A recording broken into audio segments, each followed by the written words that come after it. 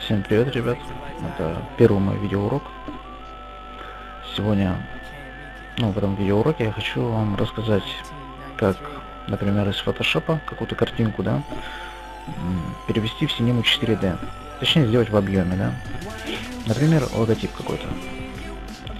Так, ну давайте для начала откроем Photoshop. Ну, я создал новый документ, да. И вот, например, эту надпись я хочу перевести в Cinema 4D.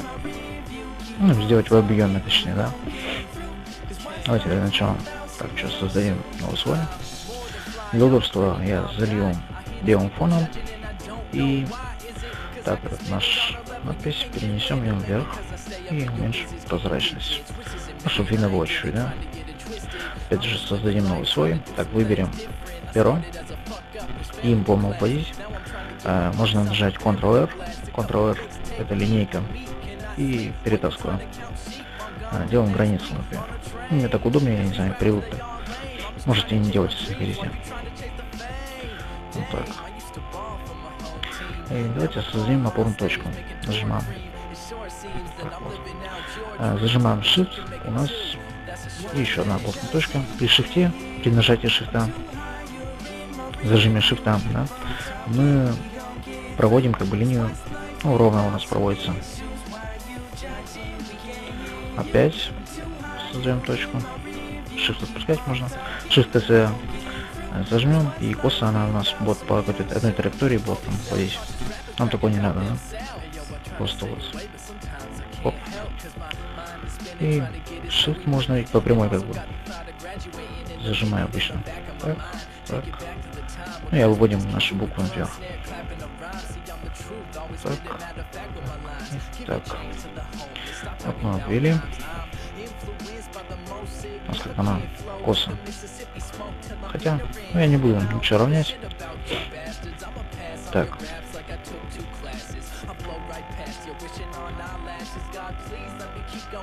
Так, дальше. Опять? Ну, нет. Сначала мы... Вот у нас создали контур здесь. Нам его залить каким-то цветом, чтобы потом перевести уже. Давайте. Так. Что делаем? Вот. Пером, правой кнопкой образовать заливку контура. Образовать заливку контура. И окей. Назовем, давайте черным заливаешь. Образовать заливку контура. Окей и увеличить контур. Вот у нас фигурка одна. Скатим. Так, давайте дальше. Вторую букву сделаем. И больше, наверное, не буду. Так, новый слой создадим опять. Перо. И опять же Shift зажимать. Так, зажимаем Shift, да? Так, так, Shift опять. Спорим. А, не рассказал, что а, чтобы свести этот контур, надо вот навести на начало, и у нас появляется как бы кружок такой. И он у нас как бы, вот так сводится. Да? И опять образовать заливку контура. Окей. Хотя видите у нас косо, да? Не было. Так, значит надо просто Ctrl, нет, Ctrl, да, и эти точки вот опоры, на которые мы создали, можно их изменять ведь. Вот так, например. Так. Выравниваем, короче, как бы, да. Ну, вот так хотя бы оставлю. Можно вот так еще провести. Ну, вот так примерно. Примерно делаю. Так, класс. Позвать заливку контура. Окей. Удалить контур. Все. Ну, я больше делать не буду, дальше продолжать. Просто вам показать суть. Так, теперь эти слои можно объединить в один. Так, объединяем, да, короче, Shift и или просто Ctrl и правой кнопкой мыши и Ctrl-E. Сочетаем клавиш Ctrl-E. Объединили слои. Вот у нас одна, один слой стал. Теперь нам надо контур сделать, да? Нажимаем Ctrl, зажимаем Ctrl и видим выделение такое. И нажимаем по миниатюре со слоем этим. Нажимаем. Видим выделение. И выбираем любой инструмент выделения и образовать так, а, правой мыши и образовать рабочий контур. Вот он, рабочий контур.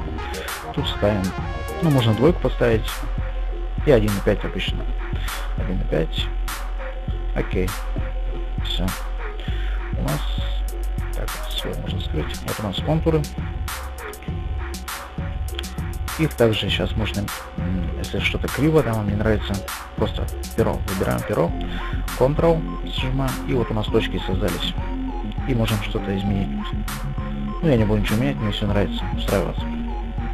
Значит, теперь файл, ну, сохраняем уже файл, экспортировать и контуру иллюстратор. Э, тут рабочий контур оставляем по стандарту. Окей. Так, тут вот имя задаем, да? А, двойку поставлю. Двойка. Теперь нам нужна синема 4D, чтобы, ну, соответственно, в, это, в 3D сделать, да, фигуру эту. Так, это. Синема 4D. Сейчас у меня откроется. Так вот, открылось. Сейчас я выровняю. Чтобы вам видно было. Так. Да. Значит, файл. Открыть. И выбираем нашу этот АИ, документ, который создали. Вот, да, открыть. Тут однерку можно ставить. Ну, сами экспериментируйте, я не знаю. Я однерку оставляю. Окей. Вот у нас контуры. Теперь нам эти контуры надо задать какой-то объем фигуру, да, сделать. Значит, вот у нас, нажимаю на плюсик, у нас два, две картинки, вот эти, два контура. Ну что, значит, надо делать, вот это нажимаем сюда, на квадратик, кубик вот этот, и выдавление NAPS. Выдавление NAPS. А, так, путь, вот, например, у нас вот эта фигура, мы ее сейчас зададим 3D делаем. Значит, переносим ее просто под выдавливание NAPS и видим, что стрелочка вниз направлена вот это. И. Вот у нас получилась фигурка, да? Ну и также той. Просто делаем опять же этот куб нажимаем и выдавливание NAPS. Опять. Оп. И вот у нас две фигурки. Давайте. Можно их увеличить там, например, вот этот края, вот тут все. Я больно сильно показывать вам не буду, что. Давайте крышки там зададим. Крышкой паста, быть. Так. Ну, сами там экспериментируйте. Думаю, все поймете. Что сложно. Так. А, дадим ей какой-то цвет. Сделаем, да? А, значит, создадим новый материал. Просто вот по этому окошку, ну, по этому окну, да, щелкаем два раза, создается у нас материал новый. Просто материал новый, и тут у нас много чего можно сделать, короче. Значит, что цвет можно изменить, но я не буду ничего этого сделать, тут вторжение, хорошая штука, кстати. Так, так, можно. Ну, вот, да,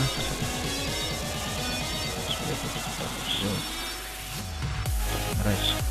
И просто вот этот материал созданный мы переносим на наш фигуру. Так, так. Теперь нам нужно сохранить, например, вот это получившийся наш, так скажем, логотип. ну, конечно, криво посмотрим. Значит, нажимаем вот сюда, на белый этот. Настройки рендера у нас влезают. Значит, что мы делаем? Вывод Тут задаем размер 1280 на 720. Всегда обычно так делаю. Вот такой ставлю? Тут сохранить. Путь. Выбираем путь, куда мы хотим сохранить нашу картинку по чешуйся. Значит, ну, просто назовем. Вот стринка, да? Значит, тут выбираем вот формат, обязательно выбираем PNG. PNG. И ставим альфа-канал обязательно. Это вот у нас. Эта функция отвечает за прозрачность картинки. Да? Прозрачный фон, короче, у нас будет. Альфа-канал нажимаем, ставим галочку, все, закрываем это. Все, теперь у нас можно зарендерить это все дело. Ну, так поставлю, да? Так вот. И нажимаем вот сюда. На эту. Сюда. Вот у нас начинает рендерить картинку нашу.